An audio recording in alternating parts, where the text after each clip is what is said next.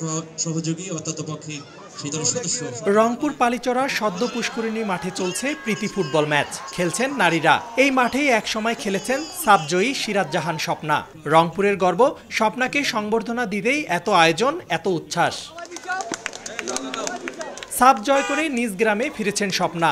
এতদিন যার জন্য অধীর অপেক্ষায় ছিলেন রংপুরবাসী, সেই স্বপ্নাকে কাছে পেয়ে আনন্দে আত্মহারা সবাই। এদিন রংপুর পাবলিক লাইব্রেরি মাঠে জেলা প্রশাসন ও জেলা ক্রীড়া সংস্থার পক্ষ থেকে সংবর্ধনা দেয়া হয় সিরাজ জাহান স্বপ্না স্বপ্না রানী ও সোহাগী কিস্কুদের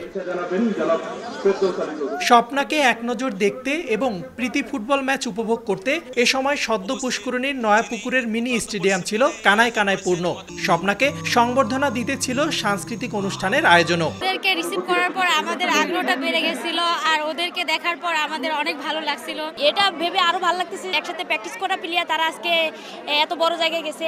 যাতে মহিলা ফুটবল দল আরও আনাচে কানাচে গড়ে ওঠে আরও আমরা বিদেশের কাছে আমরা যেন মাথা উঁচু করে আমরা দাঁড়াইতে পারি। নতুন প্রজন্মকে বলব ডিজিটাল যুগে সব মোবাইল নিয়ে রাত না জেগে বিকেল বেলা একটু খেলাধুলা চর্চা করবা।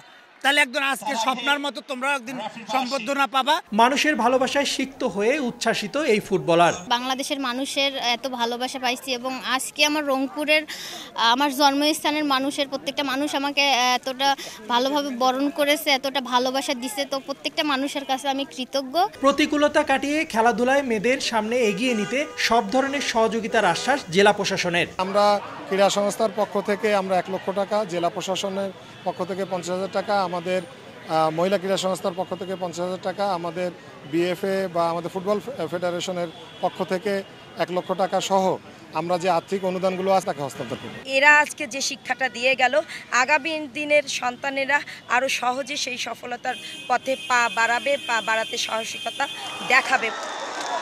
নানা প্রতিকূলতা এড়িয়ে স্বপ্নারা ছিনিয়ে এনেছেন জয়ের মুকুট।